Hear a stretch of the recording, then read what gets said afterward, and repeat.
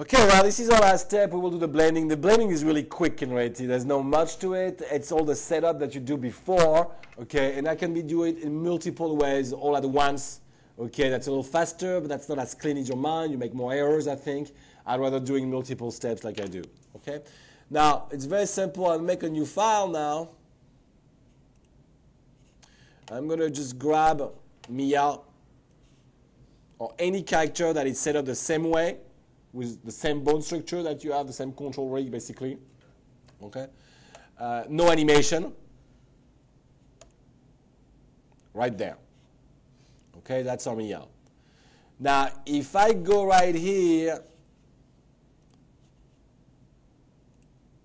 double click, I make sure I'm going to be into what?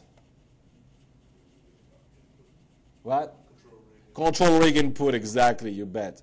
FKIK obviously, because that's what we decided earlier. Activate that. Now you can go to the file, you can load your character file. And please pray for me it's working this time. uh, right here. Yes, I think it'll be working. Uh, we're going to plot the rig. Okay. We're going to replace the control rig, reset its rotation, uh, process animation, copy missing stuff.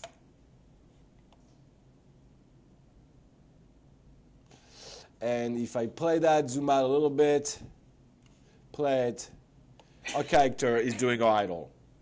All right? The extra rig, it's no big deal, okay? You can take it really quickly.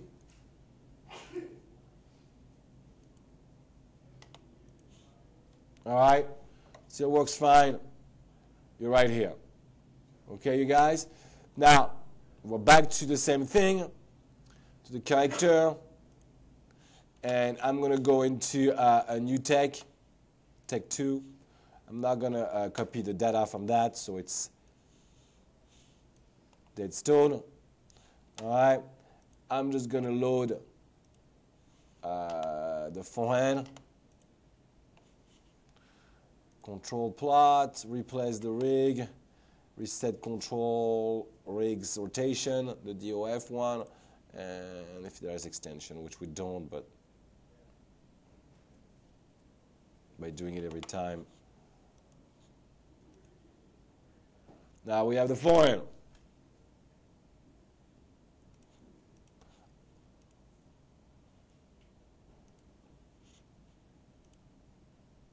And we don't have the backhand anymore.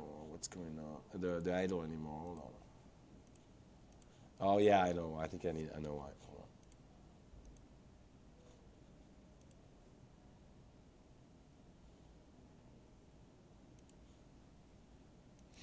Okay, now we should be good with that. Uh, make a new take with that. Put in three.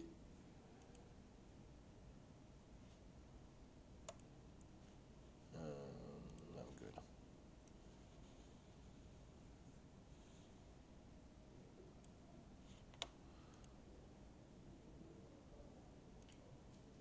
Now let me get that other rig out of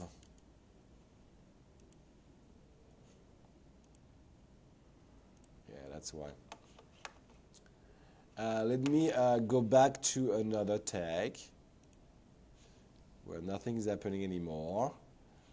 Uh, control rig, we're good.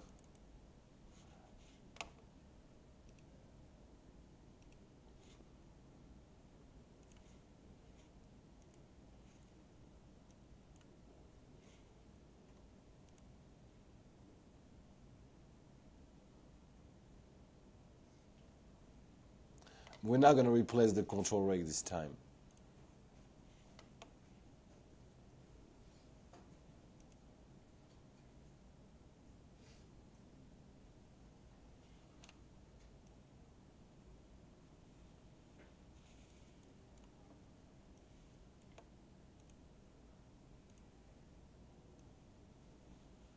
Okay, so that works. I got the, the, the volley. Now, right here, it's because tech one is always the, you know, the import stuff. So I'm going to get that into a new tech. Right here. I'll go back to two that was clean. And I'll do again the last one.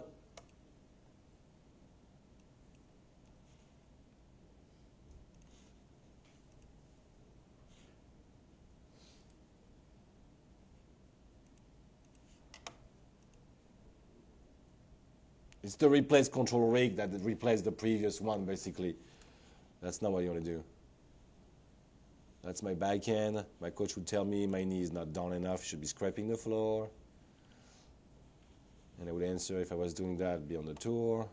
Still, it's not the case. Okay, copy that to the data at 5. Now, at 5, we have backhand. At 4, we have forehand. No, we have idle. Sorry, I apologize. And at three, we have our forehand. Okay? So we're pretty clean. Now what we want to do is go into the motion blend right here. Okay? Uh, let me uh, make sure that you guys get enough. Uh, so now, you're in the motion blend. Okay? Uh, to get it to work properly, you guys, uh, in the motion blend, let me get rid of skin. It'll make it easier for us. Just that. Okay? Now what we're going to do is that. We have our take 1 right here. We have no models into it, into that take 1. We're going to um, space bar, right click, which select the whole thing. Okay? And you just out drop it into the model track right here. Oh, that's right. Before you do that, you need to go away from the control rig. All right? So you need to bake all those animation into the skeleton. All right? Because uh, those control rig are basically have constraints, and you want to get rid of it.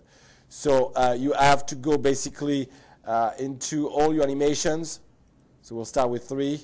And uh, you are basically going to um, plot right here. So that one is good.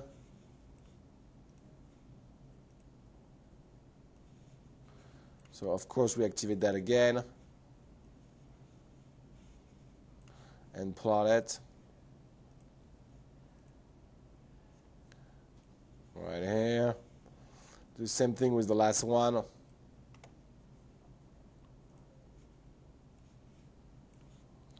Plot the character